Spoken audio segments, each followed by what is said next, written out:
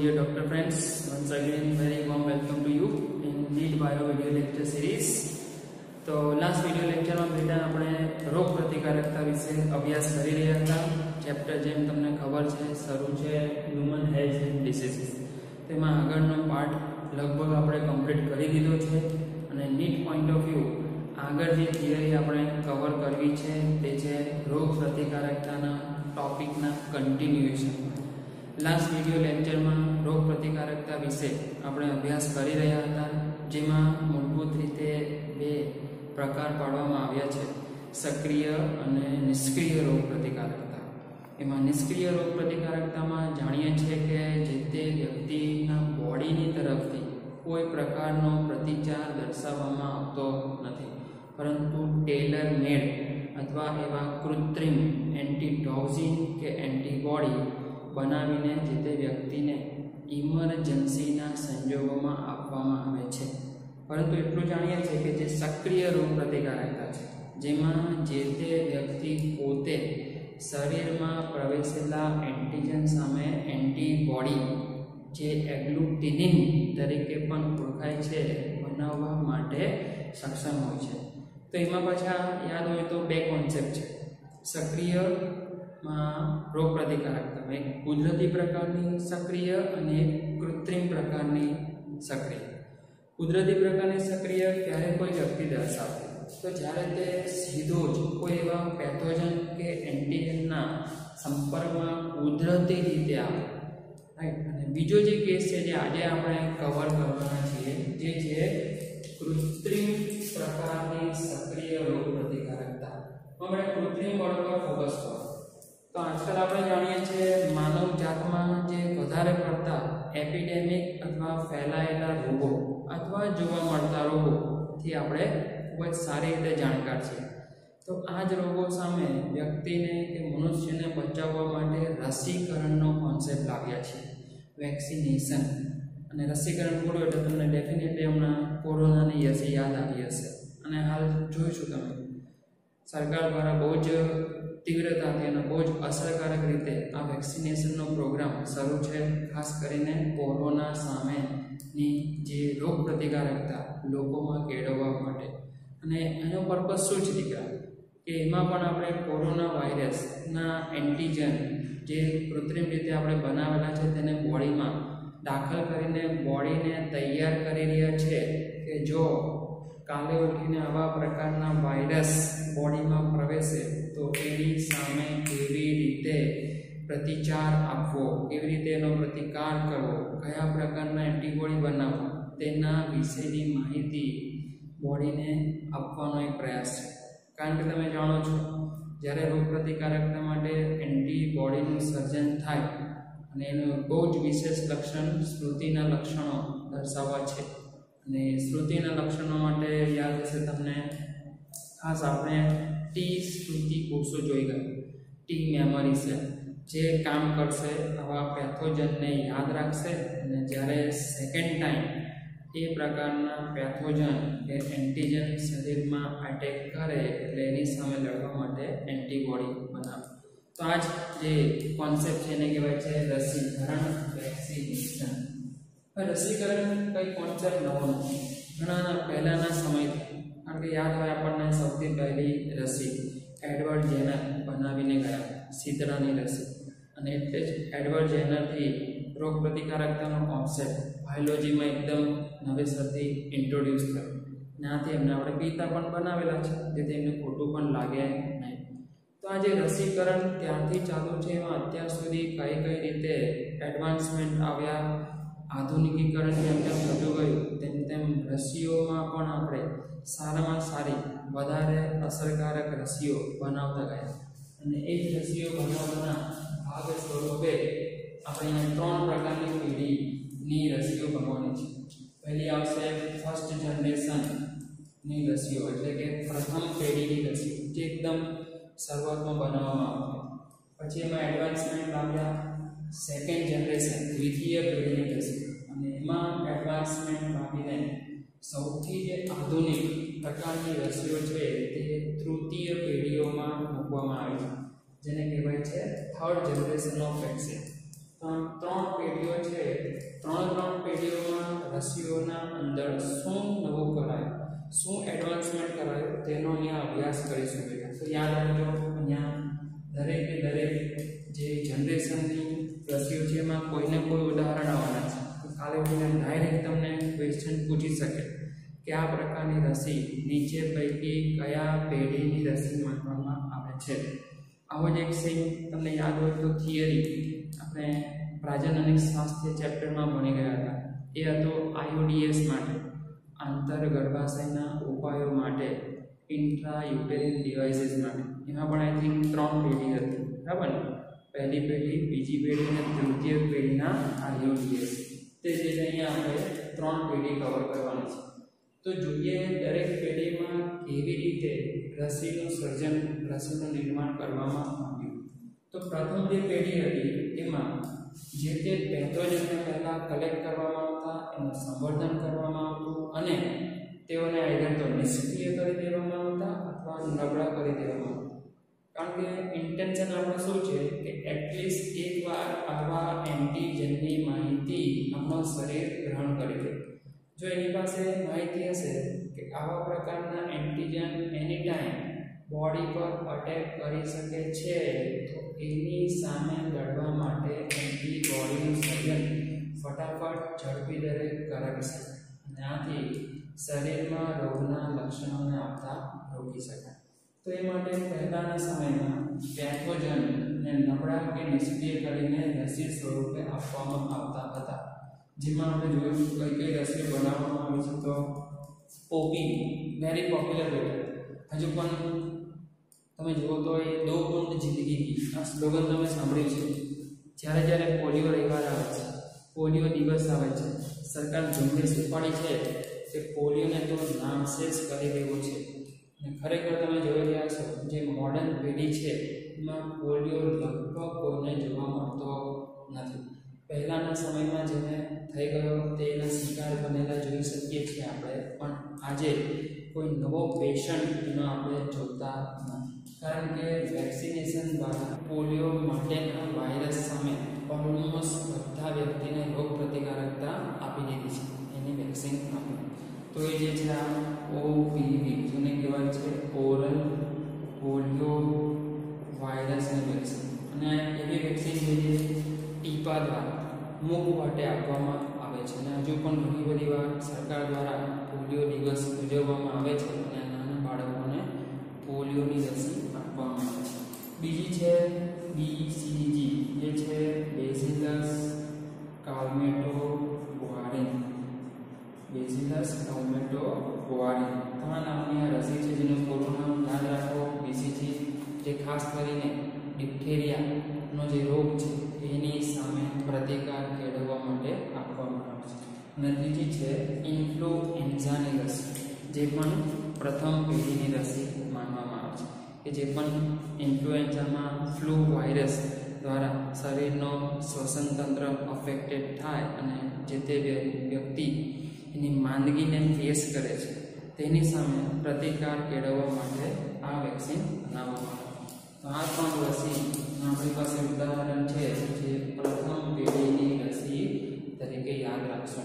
ઓબીવી BCG અને influenza પણ હવે અહીંયા બેટા એક મર્યાદા છે કે આ જે વેક્સિન આપવામાં આવે, તેમાં જ્યારે એને બનાવવામાં આવી રહી હોય પૂરો પ્રયાસ એવો થયો હોય કે ત્યાં જે પેથોજન છે તેને નિષ્ક્રિય કરી દેવામાં આવે. પણ બાયચાન્સ કોઈ જો પેથોજન સક્રિય રહી ગયો હોય અને શરીરમાં પ્રવેશે વેક્સિન સાથે, તો તે શરીરને તેના અરૂપ જીવનથી સફર કરવું પડે એને પીડાવવું પડે. મતલબ કે કેટલાક સંજોગો એવા, થોડાક કેસીસ એવા મળી જાય કે જેમાં તે પેથોજન જો સક્રિય રહી ગયો હોય તો જે તે વ્યક્તિને તે રોગનો શિકાર બનાવે.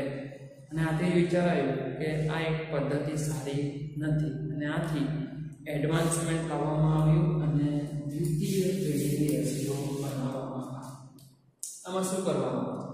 તો આમાં તે જે એન્ટીજન છે કે પેથોજન છે, તેને પોતાના મૃદુ સ્વરૂપમાં વેક્સિન માટે ન આપતા તેની અંદરના એન્ટીજેનિક પ્રોટીનને લીધે આપવામાં આવે છે. અને ખરેખર જો તમે અહીં પણ ટાર્ગેટ કરો, તો જ્યારે કોઈ પેથોજન શરીર પર અટેક કરે છે, પરોપજીવન ગુજારી રહ્યું હોય, તે દરમિયાન તેના દ્વારા એક ચોક્કસ એન્ટીજેનિક પ્રોટીનનું સર્જન થતું. અને જે પ્રોટીન છે, તે જ આપણા માટે વિસારી નીકળતું હોય. તે જ પ્રોટીન છે જે શરીરમાં જે તે રોગના લક્ષણની ઉત્પત્તિ માટે જવાબદાર થતો તો શા માટે આપણે આખો બેક્ટેરિયા કે આખો પેથોજન બોડીમાં રસી માટે આપીએ આપણે જો એ પ્રોટીનને જ આપીએ તો? કારણ કે એન્ટીબોડી તમે જાણો છો, એક પ્રકારના ગ્લાયકો પ્રોટીન છે. અને જેવો હોય એન્ટીજન આ એન્ટીજેનિક પ્રોટીન તેવો બને છે એન્ટીબોડી બરાબર? તો શા માટે આપણે આખો પેથોજન આપીએ? તો બેટર છે કે આવા એન્ટીજેનિક પ્રોટીનની જ ઓળખ શરીરને કરાવાય અને તેમાંથી જ રસીઓ બનાવવામાં આવે. અને એ ગાળામાં આપણે બાયોટેકનોલોજીમાં ખૂબ જ સારી એવી સિદ્ધિઓ હાંસલ કરી હતી અને તે સિદ્ધિઓના ભાગ સ્વરૂપે આ ડીએનએ ટેકનોલોજી જે તમે બાયોટેકનોલોજીમાં ભણી ગયા છો દીકરા રિકોમ્બિનન્ટ ડીએનએ ટેકનોલોજી જે અસ્તિત્વમાં આવી ગઈ અને તેનો યુઝ કરીને આ પેથોજનની અંદર રહેલા અને આપણામાં રોગના લક્ષણ પેદા કરે એવા એન્ટીજેનિક પ્રોટીનનો વિપુલ માત્રામાં સંશ્લેષણ કરાવવામાં આવ્યું અને તે પ્રોટીનમાંથી રસીઓને બનાવવામાં આવી. તો બેટા ડિફરન્સ સમજાવ્યો તમને? પ્રથમ પેઢી અને દ્વિતીય પેઢીની રસી વચ્ચે શું ડિફરન્સ છે? વેરી ગુડ અહીં પેથોજન એટલે કે એન્ટીજનને પોતાના મૂળભૂત સ્વરૂપે આપી દેવામાં આવે છે. જ્યારે અહીં તેઓના જે એન્ટીજેનિક પ્રોટીન છે, તેને જ ખાલી રસી માટે આપવામાં આવે છે. ચલો જોઈએ એમાં કયા ઉદાહરણ છે. તેમાં હિપેટાઇટિસ બી તે ખૂબ ગંભીર રોગ માનવામાં આવે છે બેટા. વ્યક્તિ મૃત્યુના શરણે જઈ શકે છે, બરાબર? જો આ હિપેટાઇટિસ બી વાયરસનો ચેપ લાગી જાય તો. ને મેનિન્જાઇટિસ આ પણ તમને યાદ હશે, મગજનો તાવ. ને કહેવાય છે. મેનેજિસ વર્ડ તમે નર્વસ સિસ્ટમમાં ભણી ગયા હતા કે સીએનએસની ફરતે જે મસ્તિષ્ક આવરણો છે એ આવરણોને કહેવાય છે મેનેન્જીસ અને એમાં જ્યારે બેક્ટેરિયલ ચેપ લાગે તો એમાં સોજો આવી જાય અને સોજો આવવાની સાથે શરીરમાં જે અહીં તાવ અને એની સાથે સંકળાયેલા લક્ષણો પેદા થાય છે એને કહેવાય મેનિન્જાઇટિસ મગજનો તાવ તો એની પણ રસી જે બનાવવામાં આવે છે તે છે તૃતીય પેઢીની રસી. અને ફાઇનલી સૌથી આધુનિક પેઢીઓની જે રસી છે, તૃતીય પેઢીની રસી, જે છે ડીએનએ રસી. કારણ કે બાયોટેકનોલોજીમાં પાછું આપણે જેમ કૃત્રિમ રીતે પોલીન્યુક્લિયોટાઇડની શૃંખલાઓ બનાવવા માટે પણ સક્ષમ થયા, તો એ જ કોન્સેપ્ટથી હવે શું કરવામાં આવે છે? અત્યાર સુધી એન્ટીજેનિક પ્રોટીન આપવામાં પણ હવે આપણે એવું કર્યું કે આપણા શરીરના દરેક કોષને, લસિકા કણોને જે રોગ પ્રતિકારકતા માટે આપણા સૈનિકો તરીકે વર્તે છે, આપણા શરીરની આર્મી તરીકે વર્તે છે, તેને પરમેનન્ટ આપી દઈએ જે તે આવા ચોક્કસ એન્ટીજનની માહિતી. જેના માટે અગેન ડીએનએઓ બનાવવામાં આવે છે. અને આ ડીએનએ એવો હોય છે જે ચોક્કસ પેથોજનના અંદર રહેલા ન્યુક્લિયોટાઇડની શૃંખલા જીવો જ ક્રમ દર્શાવતો અને એવા ડીએનએ આર્ટિફિશિયલી કૃત્રિમ રીતે બનાવીને તેને રસી સ્વરૂપે આપવામાં આવે છે. તૃતીય પેઢીની આધુનિક રસીઓમાં. ને આથી એને ડીએનએ રસી જ કહો તો પણ કોઈ પ્રોબ્લેમ નથી. બહુ જ બધા ક્વેશ્ચન છે, હમણાં જે ક્વેશ્ચન પેપર સિરીઝમાં ક્વેશ્ચન મેં ઓબ્ઝર્વ કરેલો. ત્યાં તે જોયો હતો મેં કે ડીએનએ રસી એ નીચે પૈકી કઈ પેઢીની રસી માનવામાં આવે છે? તો સૌથી આધુનિક પ્રકારની પેઢી તૃતીય પેઢીની રસી તરીકે ડીએનએ રસી છે. અને એમાં શું ખાસ છે? તો એમાં પ્રોટીન નથી બનાવવામાં આવતો, પણ એ એન્ટીજેનિક પ્રોટીન બનાવવા માટે જરૂરી ડીએનએની ન્યુક્લિયોટાઇડની શૃંખલા દર્શાવતો એવો સેમ ન્યુક્લિયોટાઇડનો ટુકડો બનાવીને રસી માટે આપવામાં આવે. તો એને કહેવાય ડીએનએ જેમાં ધીરે ધીરે હજુ પ્રયોગો ચાલી રહ્યા છે, સંશોધનો ચાલી રહ્યા છે. ઘણા બધા એવા ગંભીર રોગો માટે ડીએનએ રસી બનાવવામાં આવી રહી છે. પણ ફિલહાલ આપણી પાસે જે ઉદાહરણ ઉપલબ્ધ છે તે છે લ્યુકેમિયા વાયરસની રસી. લ્યુકેમિયા તમે જાણો છો કે રુધિરનું કેન્સર છે. રુધિરમાં રહેલા કયા કોષનું બેટા? શ્વેત કણો ડબલ્યુબીસીનું કેન્સર અને આ ડબ્લ્યુબીસી તો આપણા રોગ પ્રતિકારકતા માટે વર્ક કરતા હોય. હવે જો ઇનેજ કેન્સરની કન્ડિશન લાગુ પડી જાય, તો ખરેખર શરીરમાં રોગ પ્રતિકારકતામાં ગંભીર ઘટાડો આવી શકે.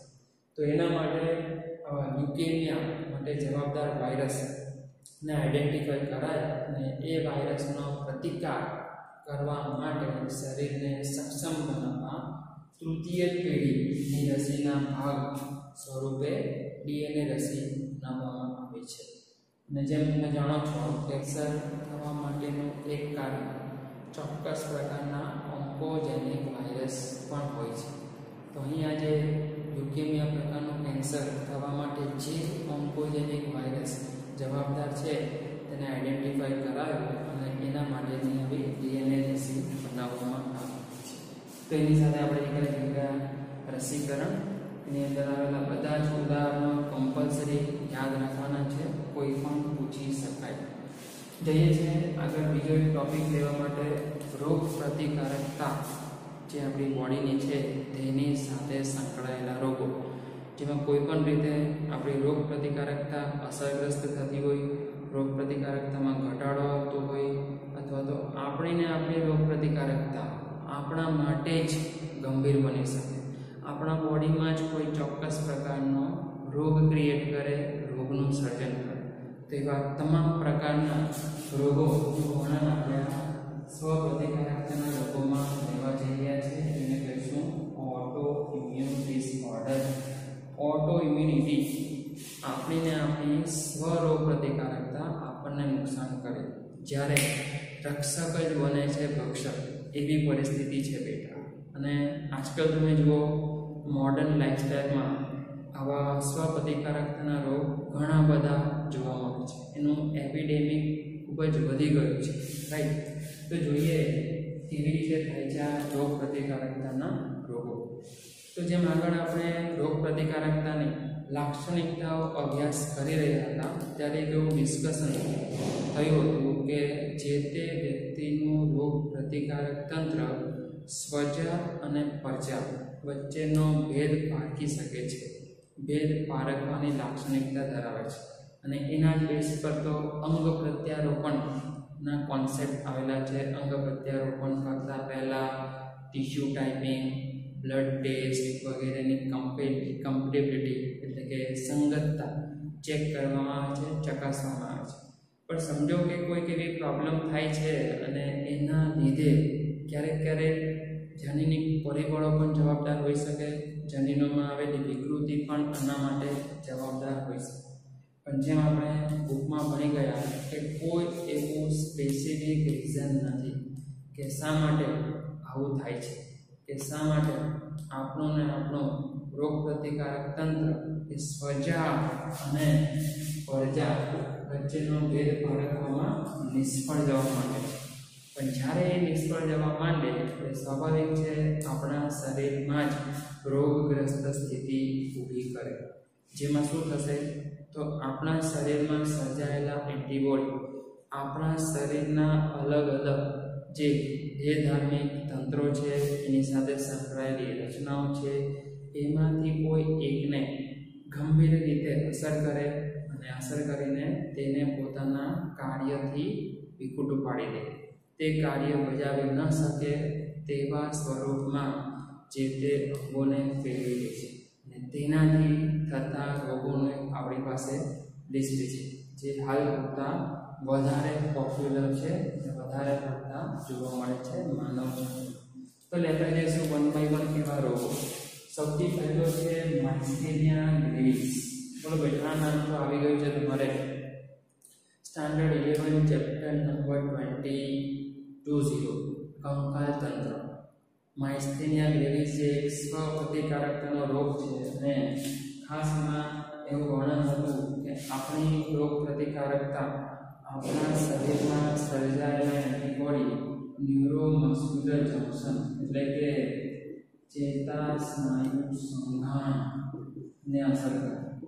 અને જ્યારે આ એન્ટીબોડી ચેતા સ્નાયુ સંઘાણને અસર કરે છે, એટલે ચેતા સ્નાયુ સંઘાણ પર થતી ચેતાકરણની ઘટના અથવા ઉર્મિવેગના વહનની ઘટનાને ડિસ્ટર્બ કરે અને ડિસ્ટર્બ થાય એટલે સ્નાયુ સુધી પ્રતિચાર પહોંચે નહીં. અને પ્રતિચાર ન પહોંચે એટલે સ્નાયુ કોઈ પ્રકારનો રિસ્પોન્સ ના.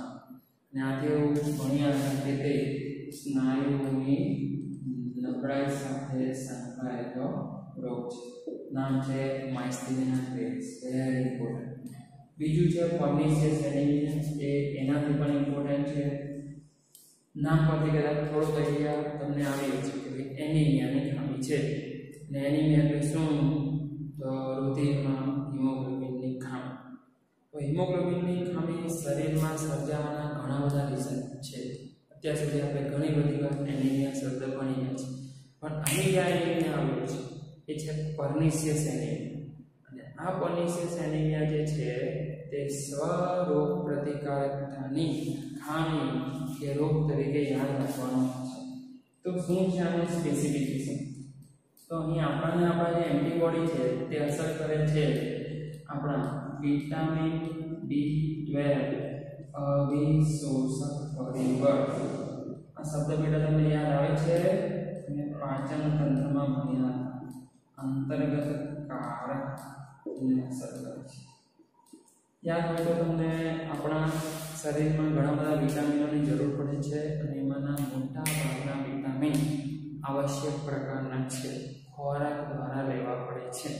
પણ એક એવો હતો જે આપણા બોડીમાં રહેલા સરળજીવી બેક્ટેરિયા ઇસ્ચેરિસિયા કોલાઈ દ્વારા કોલોના તૈયાર કરવામાં આવે છે. Vitamin B. અને આ વિટામિન બી ટ્વેલ્વ એ હિમોગ્લોબિન, પ્રોટીનના સંશ્લેષણમાં એક ચાવીરૂપ ભાગ ભજવે છે.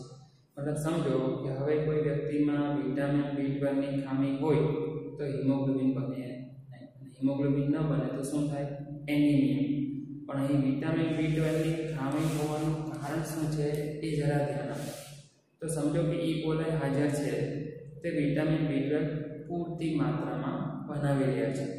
પણ એ વિટામિન બી ટ્વેલ્વ તમને યાદ હોય, તો એ રુધિરમાં જો અભિશોષણ પામવા માંગતો હોય, તો એના માટે જઠર રસનો એક ઘટક નામ હતું આ વિટામિન બી ટ્વેલ્વ અભિશોષક પરિબળ અથવા જેનું નામ છે અંતર્ગત કારક ઇન્ટ્રિન્સિક ફેક્ટર જરૂરી છે. જો આ કારક ન હોય, તો સ્વાભાવિક છે વિટામિન બી ટ્વેલ્વ અભિશોષણ પામે અને વિટામિન બી ટ્વેલ્વ અભિશોષણ ન પામે, તો રુધિરમાં એ વિટામિન બી12 ની શું થાય? ડેફિશિયન્સી ઉણપ થઈ એ ઉણપ જો થઈ જાય. તો સ્વાભાવિક છે, હિમોગ્લોબિનનું સર્જન પણ સંશ્લેષણ ઓછું થાય અથવા પૂરતી માત્રામાં થાય. અને એને કારણે થઈ જાય છે. તો યાદ રાખો કે સ્વરોગ પ્રતિકારકતાને કારણે સર્જાતી એનિમિયાની ખામી કહેવાય છે પર્નિશિયસ એનિમિયા ત્રીજો પણ એટલો ઇન્ટરેસ્ટિંગ છે રોમેટોઇડ આર્થરાઇટિસ અને પણ કશે ને કશે આપણે કંકાલ તંત્રમાં સ્ટડી કરી ગયા છે. આર્થરાઇટિસ એટલે આપણા દિમાગમાં એવું છે કે ભાઈ સાંધાઓમાં સોજો આવી જાય, સાંધાઓમાં દુખાવો થાય. એ સાદો આર્થરાઇટિસ અને રોમેટોઇડ આર્થરાઇટિસમાં ઘણો ફરક છે આ રોમેટોઇડ આર્થરાઇટિસમાં ખાસ તે અસર કરે છે સાંધાને સાઇનોવિયલ સાંધાને સાઇનોવિયલ કલાને. એ સાઇનોવિયલ કલા ખૂબ જ જાડી થઈ જાય અને જાડી થાય અને સાથે સાથે તમને યાદ હોય એક બહુ વિશેષ, નાની નાની એવી પેનેસની કણિકાઓ. આમ યાદ રાખો લેખા બહુ એન્ટી ક્વેશ્ચન છે. જો કે હું સેકન્ડ ટાઈમમાં રિવાઇઝ કરાવી રહ્યો છું. ત્યાં આપણે સ્ટડી કર્યું હતું, પણ અહીં પાછી એની જરૂર પડી છે એટલે જરા તમારી સાથે શેર કરી રહ્યો છું. પેનેસની કણિકાઓ સર્જાતી જાય અને પેનેસની કણિકાઓ જે સાંધો છે તેને સાવ શું કરે અચલિત બનાવે અને એ સાંધો પરમેનન્ટલી અચલિત થઈ જાય અને એ પરિસ્થિતિ બહુ ગંભીર કહેવાય છે. તો એવા બધા લક્ષણ હતા રોમેટોઇડ આર્થરાઇટિસના જેમાં ત્યાં લોકો ઇમ્યુનોગ્લોબ્યુલિન એમ જે એન્ટીબોડી સર્જાતો હતો ઇમ્યુનોગ્લોબ્યુલિન એમની માત્રા ખૂબ જ વધી જાય અને આ જ ઇમ્યુનોગ્લોબ્યુલિન એમ જે સાંધાઓને અસર કરે છે સાંધાઓમાં આર્થરાઇટિસને ગંભીર રીતે વધારે છે. અને આથી જ અને નામ આપી દેવાનું છે રુમેટોઇડ ફેક્ટર શું છે, દીકરા? રુમેટોઇડ ફેક્ટર અને આથી જ કોઈ પણ ઓર્થોપેડિક ડૉક્ટર હોય રોગિક કસોટી કરાવીને પ્રથમ આ રોમેટોઇડ ફેક્ટરનું નિરાકરણ કરશે, એની ક્વોન્ટિટી જોશે બ્લડમાં કેટલી છે, અને એના અનુસાર આગળ જે તે આર્થરાઇટિસના પેશન્ટ કે દર્દીની સારવાર માટે દવાઓ આપે છે. એટલે એવરી ટાઈમ એ રુધિર કસોટી કરાવવાનું કહે છે, એ શું પર્પઝ માટે હોય છે. રુધિરમાં રહેલા આઈજીએમ એટલે કે રૂમેટોઇડ ફેક્ટરની ચકાસણી કરવા માટે. અને બાકી જેમ લક્ષણો તમે જાણો છો તે જ. સાદો આર્થરાઇટિસ નથી બેટા, રૂમેટોઇડ આર્થરાઇટિસ છે. રૂમેટોઇડ હોય એ સમજી લેવાનું શું છે?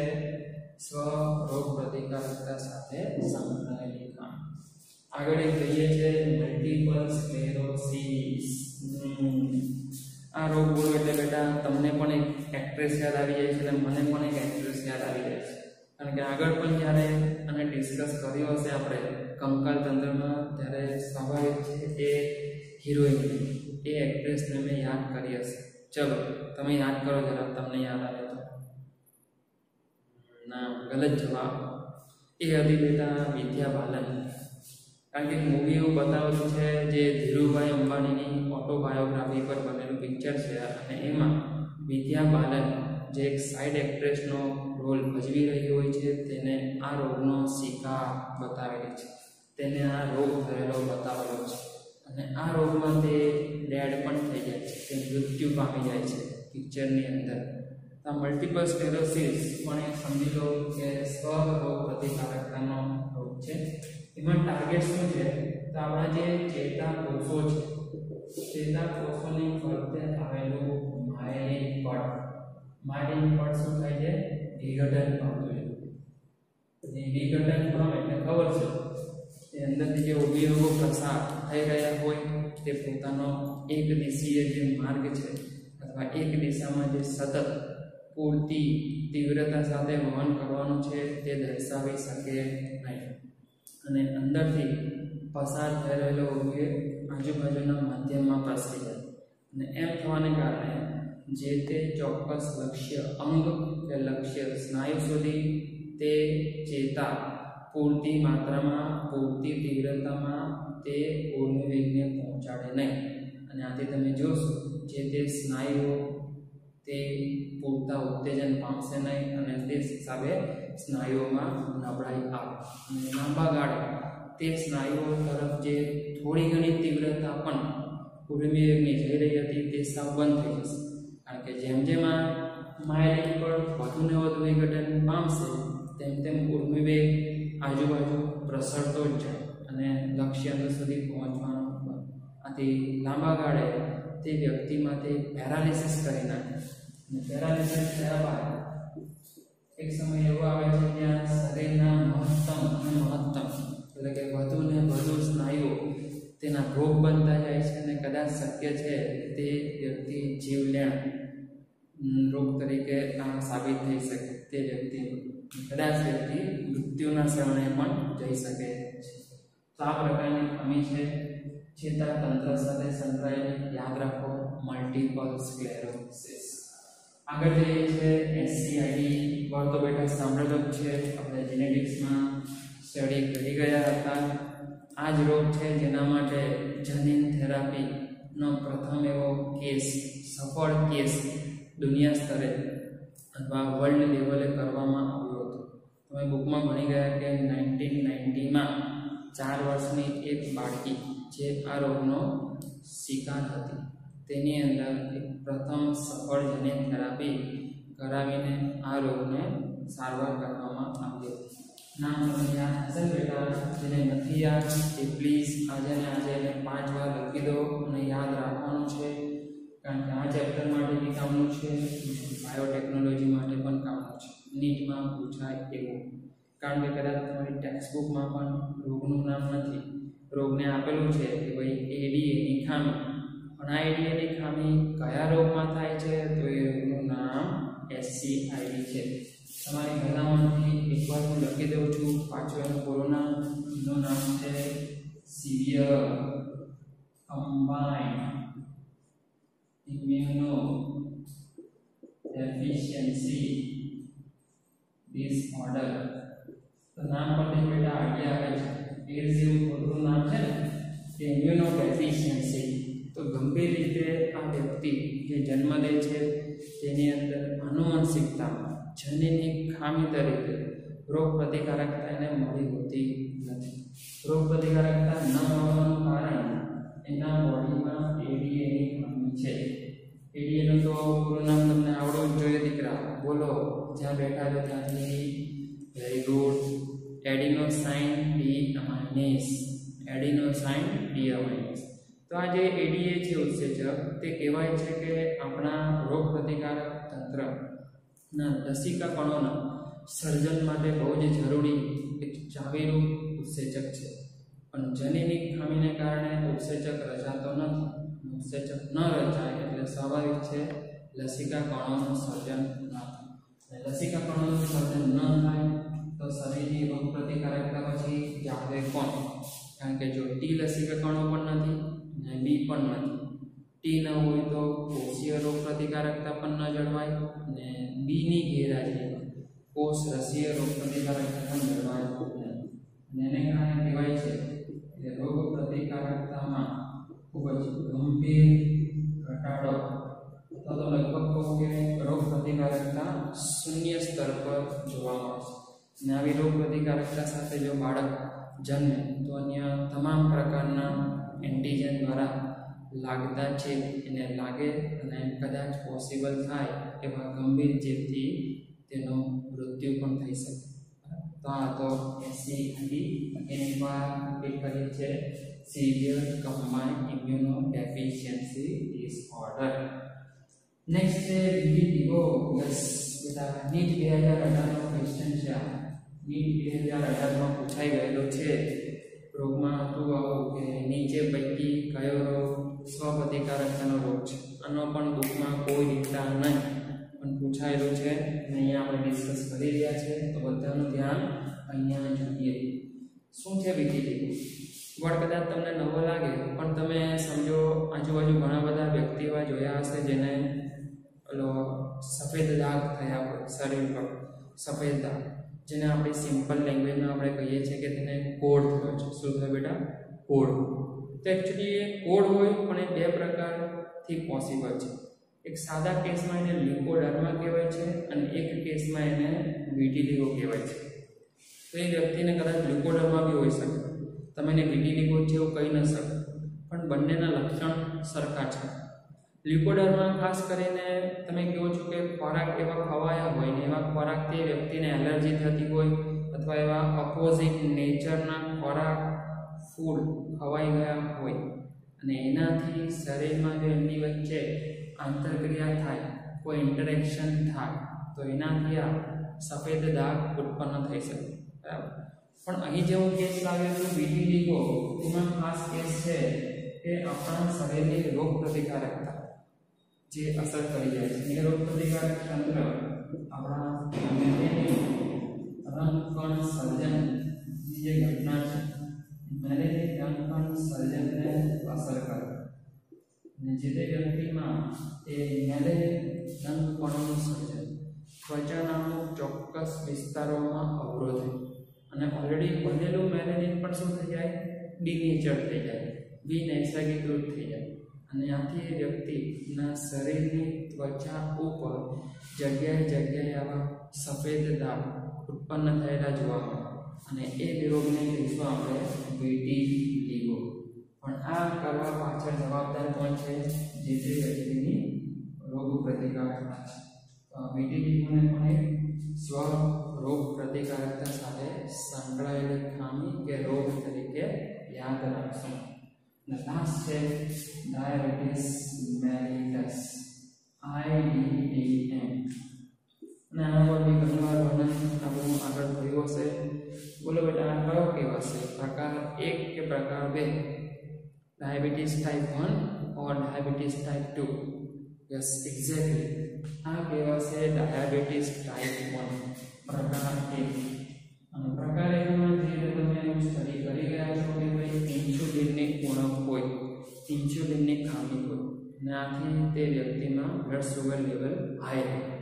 આ એવો જ ડાયાબિટીસ મેલિટસ છે અને એટલે જ લખ્યું છે એનું બીજું નામ I D D N insulin dependent diabetes mellitus insulin dependent એટલે ભાઈ ઇન્સ્યુલિન આધારિત આ ઇન્સ્યુલિન ડિપેન્ડન્ટ ડાયાબિટીસ મેલિટસ તો જેમાં વાત એવી છે કે ઇન્સ્યુલિન કામ કરતો નથી અથવા ઓછો બને પણ અહીં ટાર્ગેટ જે છે તે કોણ છે સ્વાદુપિંડના બીટા કોષ કોનો સ્વરોગ પ્રતિકારક બનતા એન્ટીબોડી.